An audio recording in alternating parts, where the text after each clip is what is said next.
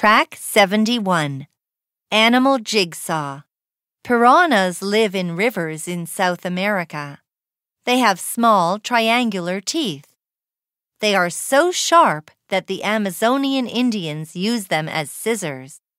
Piranhas never stop growing, so they are always hungry. They can eat a large animal in minutes.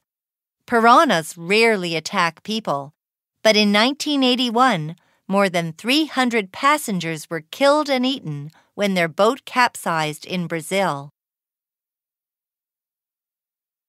Eagles live in the mountains.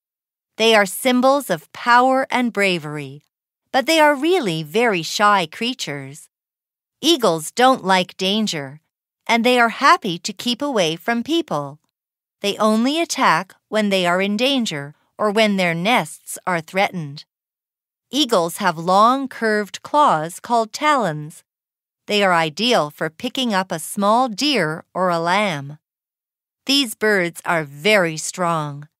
They can carry an animal of their own weight in their claws. Rats live all over the world. Many people are scared of them. Rats spread diseases, destroy crops, and kill small animals. They eat almost every kind of plant and animal, including other rats. They can also cause fires by biting the insulation around electrical wires. Rats also carry fleas. These fleas bite humans and spread dangerous plagues. There are about 120 kinds of rats. Black rats and brown rats are the most common. Brown rats are large, they are bigger than black rats.